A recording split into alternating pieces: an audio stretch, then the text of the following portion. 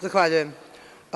U tekstu Predloga zakona član koji je predmet našeg amandmana, koji sam podnela u istovetnom tekstu sa narodnim poslanicima Zoranom Živkovićem i Vladimirom Pavićevićem i sa kolegama Borislavom Stefanovićem, Ivanom Jovanovićem, Dejanom Nikolićem, Balšom Božovićem, Vesnom Martinović i Draganom Šutanovcem, dakle, naš amandman se odnosi na tekst Predloga zakona označen kao član 4. koji kaže da ovaj zakon stupa na snagu narednog dana od dana objavljivanja u „Službenom glasniku Republike Srbije“.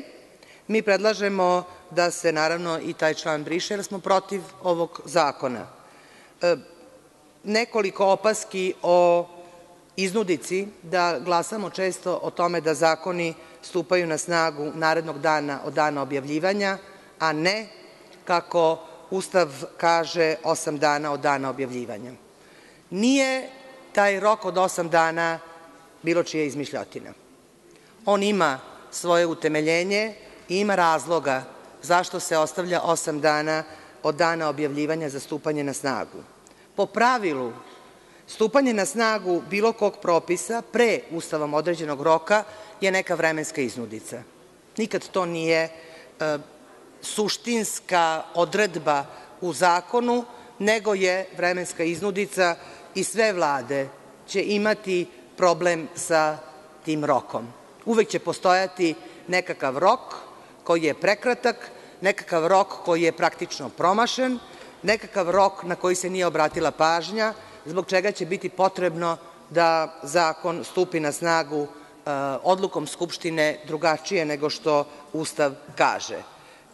Za mnoge zakone za koje sam ja glasala kao narodna poslanica i za mnoge za koje sam bila protiv kao narodna poslanica, bez obzira ko ih podnosio, bilo je razloga za ovo skraćenje vremenskog roka za objavljivanje.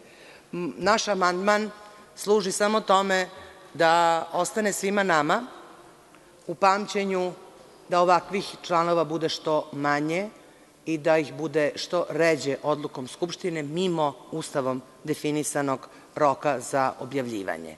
Ne radi se samo o pojedinačnom slučaju, nego se radi o poruci svima nama da na vreme radimo svoje poslove, jer se kaže ne postoje ljudi koji su zakasnili, postoje samo ljudi koji nisu na vreme krenuli tamo gde žele da stignu ili nisu na vreme se bavili svojim poslom. I to je jedini razlog.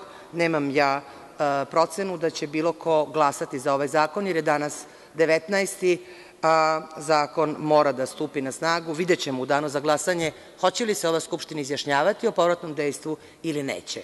Ako bude toga u danu za glasanje, imaćemo problem zbog nedostatka volje za dijalog, nepotrebnog nedostatka volje. Hvala vam.